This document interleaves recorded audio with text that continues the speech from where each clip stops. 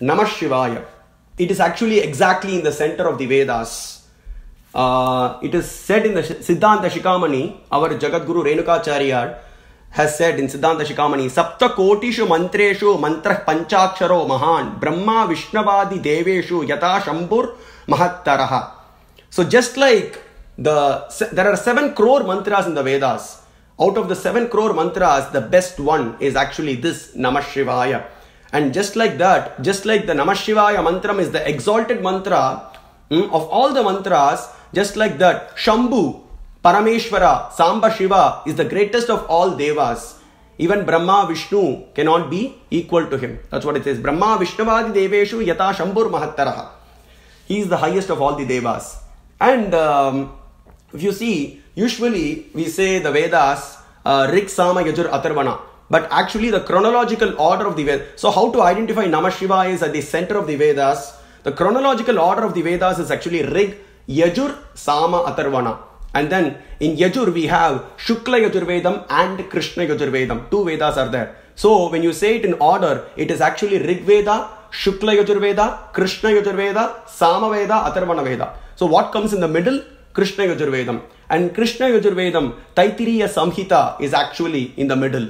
And within the Taittiriya Samhita, the fourth, fourth canto is the middle is the middle one. And within the fourth canto is actually the fifth chapter. That is why it says, Rudram says, Chaturtha Kande Panchama Prapataka. The fifth chapter within the fourth canto is actually the, in the middle. And that is our, that is the Shri Rudram. And within the Rudram, the Panchakshara mantram is actually in the middle.